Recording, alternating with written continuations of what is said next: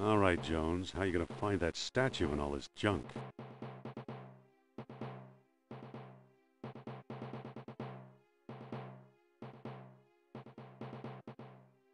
It's a stone carving of Shiva.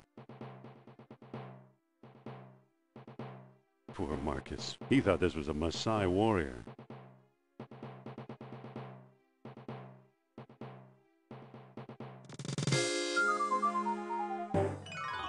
Oof!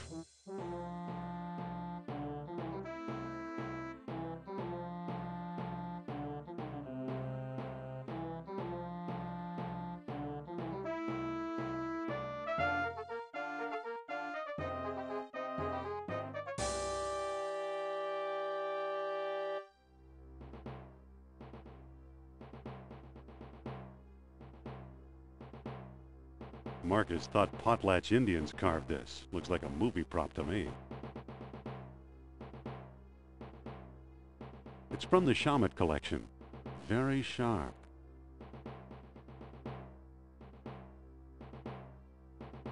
Looks dangerous.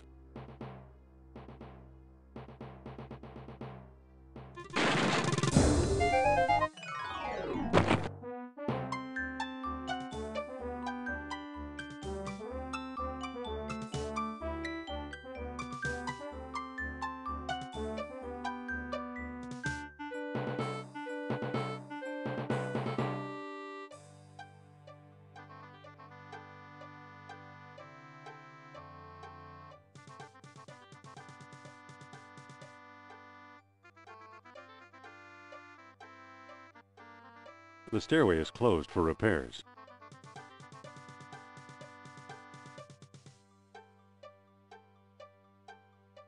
These books don't look familiar.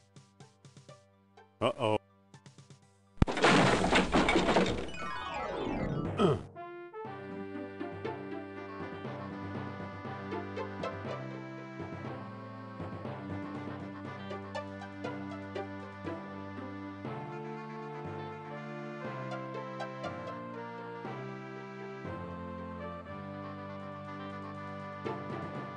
Better get that roof checked.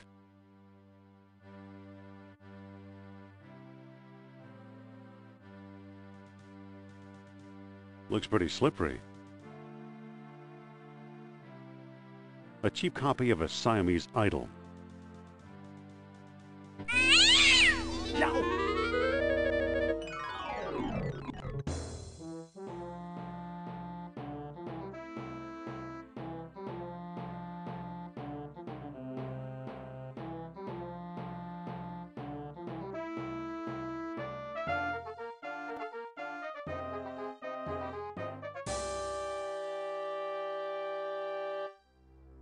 A greasy old towel.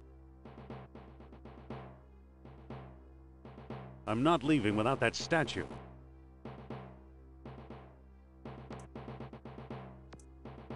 I'll be. Here's what I've been searching for.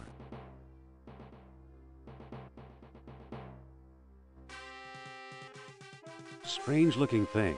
I wonder where Marcus picked it up.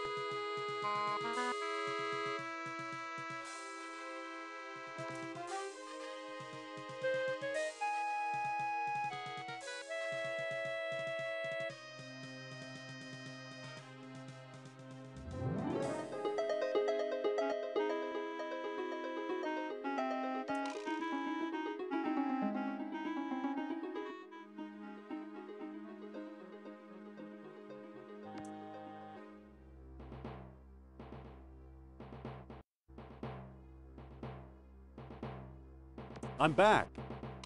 Indy? You don't look at all well, Dr. Jones. Exploring our collections can be dangerous, Mr. Uh, what was your name again? Smith. Tell me, did you find a lock to match my key? You bet I did. Take a look. What are you waiting for? Let's open it. Why not? It's an obvious fake.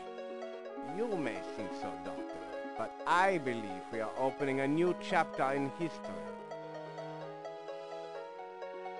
My word, Indy, a small metal bead. Jewelry, perhaps? I still think it's a fake. Then you won't mind if I take it. Really, Mr. Smith? Stand back, gentlemen. I hope you've got a getaway car waiting. You'll need one. What is this?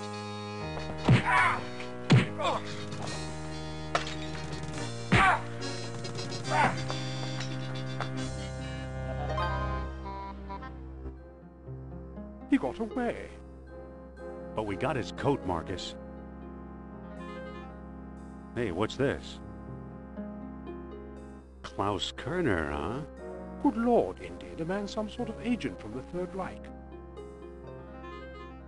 What does the spy want with the Buddhist statue? I lied, Marcus. I don't think it's a phony. I can't place the style, but it's old. Look what else our friend was carrying. An old copy of National Archaeology, and there you are in Iceland. Yeah, field supervisor for the Jastro expedition. My first real job. Who's the woman? Sophia Hapgood. She was my assistant, a spoiled rich kid from Boston, rebelling against her family. Where is she now? She gave up archaeology to become a psychic. How odd. You can say that again. Indy, Kerner found you. What if he finds her? We should warn the woman. You're right. I want to know more about that statue. You know, Marcus, the coldest year of my life was the one I spent in Iceland with Sophia.